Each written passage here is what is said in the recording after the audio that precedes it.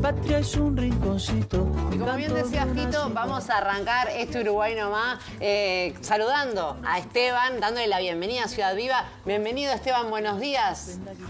Hola, muy buenos días, ¿cómo les va? Mirá, estamos recontra contentos de, de estar hablando contigo.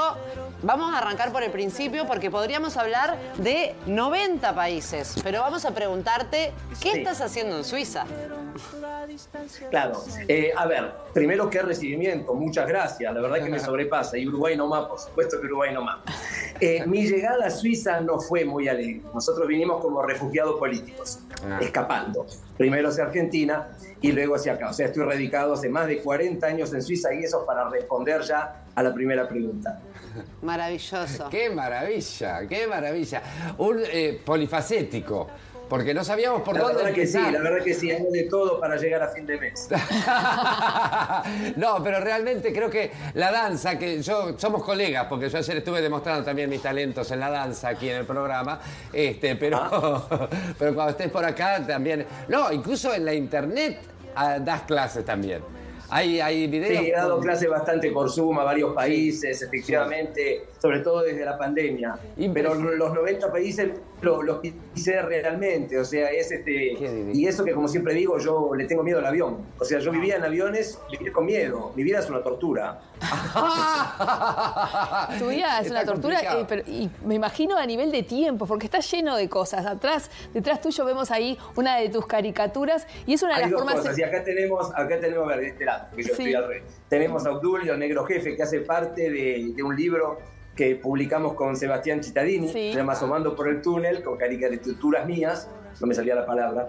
Y del otro lado lo puse acá como para adornar. Eh, la madre de una seguidora mía pintó la casa donde nací, el edificio donde nací, en Luis Alberto de Herrera, frente al monumento a Valle. Así que lo tengo acá en casa, tengo mi Montevideo. Qué lindo. Bueno, pero ese libro en particular que, tuve el honor de presentar en, una feria del libro con Sebastián, eh, habla de la historia del Uruguay, de la historia futbolística, de eso que somos, de esas, algunas más conocidas, otras eh, menos, bueno, todas conocidas, pero algunas más este, renombradas, otras menos renombradas, pero gente que ha construido la historia.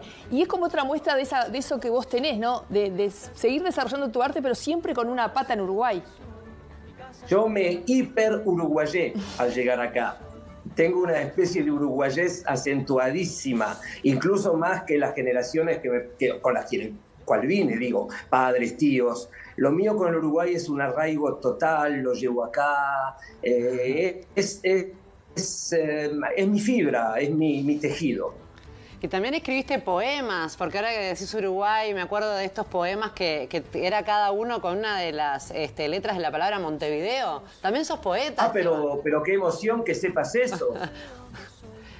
Sí, eso los escribí en francés, porque bueno, al vivir acá en Ginebra, eh, las editoriales en las que publiqué son sobre todo este, de acá, o sea, escribo en francés. Eso fue en una revista literaria llamada Escritura, y cada, M, cada letra de Montevideo tenía una especie de postal, como lo llamé, o sea, tenía que, tenía que ser un poema eh, con una métrica muy precisa para que parezca el rectángulo de una postal. Y Esteban, ¿es Uruguay nomás y es Montevideo nomás también? Es Montevideo nomás porque soy montevideano. Sí, o sea, es así. Pero es Uruguay nomás. es, eh, y ahí, qué lindo, porque había algunas caricaturas. Hay algo que está pasando que es hermoso y que también me sobrepasa, ¿no? Que va a ser el verbo que voy a usar más. Que en WhatsApp crearon un grupo, los ídolos míos, los campeones del mundo, de Peñarol, de Nacional, campeones del Mundialito, eh, un grupo con mis caricaturas. O sea, en este momento yo estoy chateando con mis ídolos, parece que sal- salieron del álbum de figuritas y estoy hablando. Y algunos de ellos aparecieron ahí, está, por ejemplo, ahí está el, está el Tano, está el Indio, está Domínguez, y están todos, reaccionan todos mal a mis caricaturas, me odian.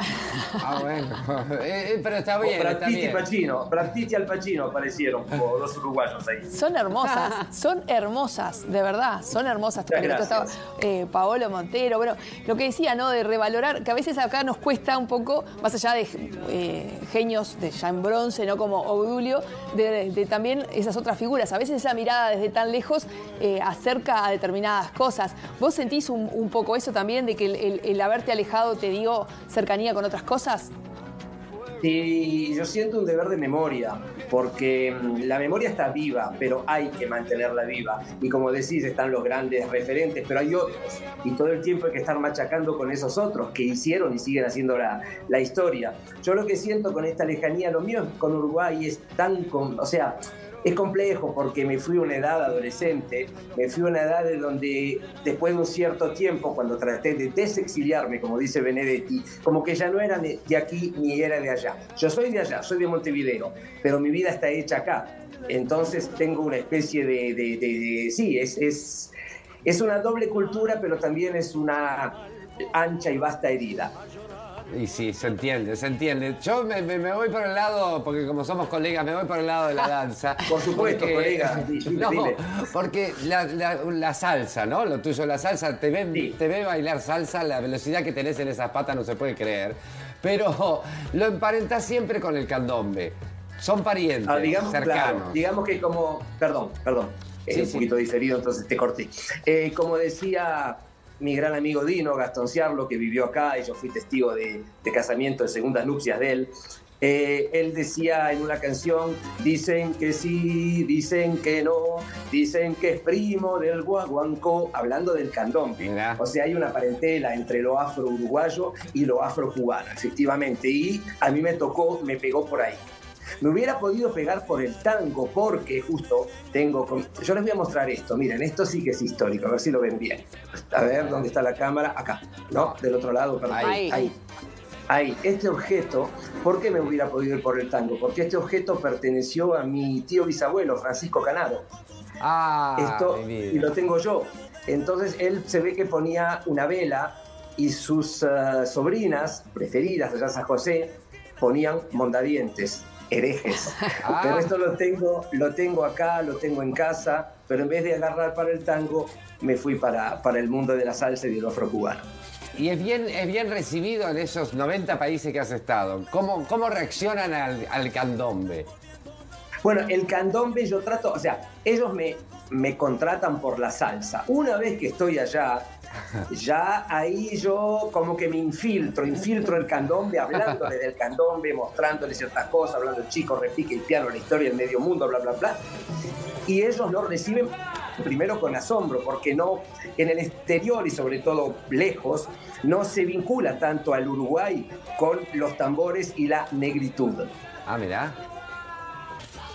Sí es como un aprendizaje también. Y además de ese aprendizaje, eh, el, ser protagonista de los, de los torneos internacionales, los campeonatos este, internacionales, eh, implica eso, ¿no? Competencia, valoración de lo aprendido, pero también un encuentro. Este, eso de, de estar en el mundo, como vos decís, tener dos nacionalidades o dos lugares en el mundo pero también sentir que el mundo es uno solo, ¿no? Porque esto me estás hablando. Absolutamente, y nunca tan bien dicho, después de haber uno viajado, eso de que en todos lados o todas las horas se cuecen habas.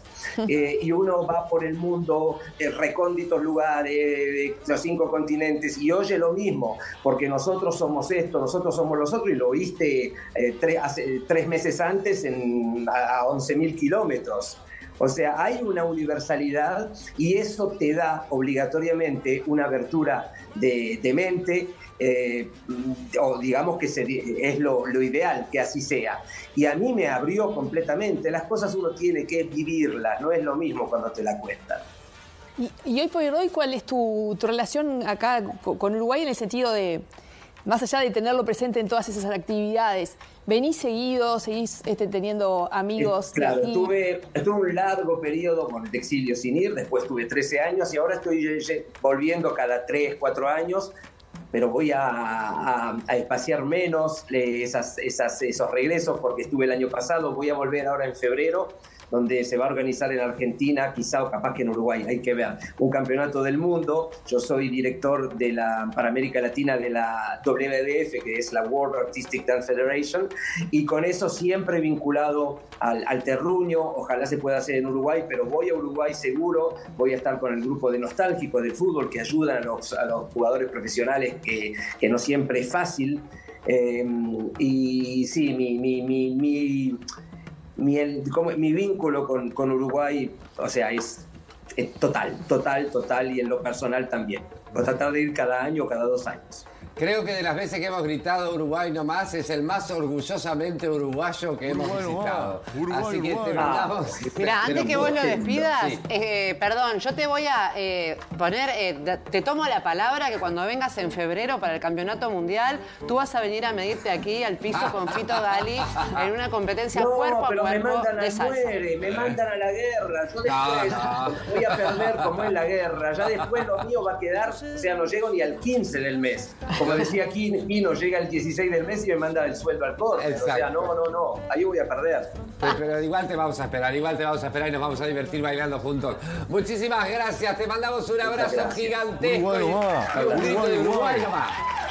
Uruguay nomás. Ah. ¡Qué divino! Qué hermosura. Señoras y señores.